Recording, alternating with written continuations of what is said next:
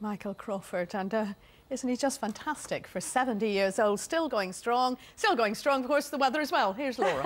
yeah, he does look fantastic. And yes, the weather just keeps on coming. Now, today there's a fair bit of cloud around and some fairly brisk winds today make it feel really quite cold outside, actually. The wind's pulling in some showers from northwestern areas and the radar shows they've been very widespread and very heavy this morning. Northern Ireland, Western Scotland now pushing in through England and Wales. Some yellows and greens there for Western Scotland, showing the showers have been and will continue to be fairly heavy.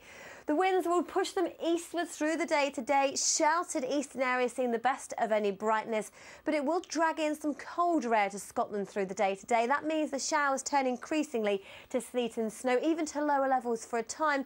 Some brightness to be had in the east. Scattered showers for northwest England, falling as snow across the tops of the Pennines.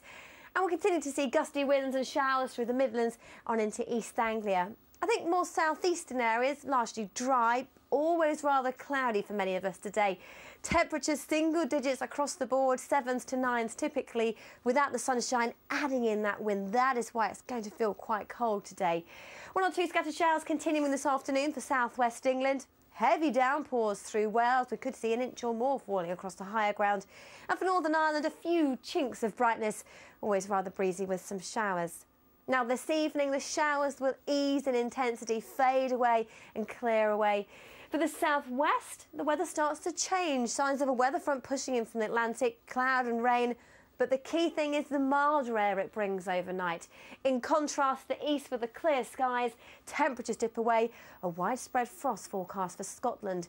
Make the most of the fine, sunny, chilly start in the east. It's not set to last long. Our weather front spills cloud and then rain pulls in and it brings some much milder air to the west, 12 or 13 degrees in contrast to the 5s and 6 in the east. And that's a recipe for snow for Scotland, particularly across higher ground.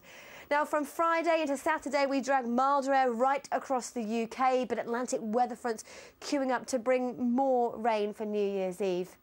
Now, New Year's Eve is looking fairly cloudy, rain or showers and drizzly conditions through western areas. Eastern areas are the best of any brightness. 12, 13 degrees our top temperature. Now, as we head through New Year's Eve, there still will be some showers around. It won't be a washout. A cool breeze around, and then it gets colder as we head into the new year.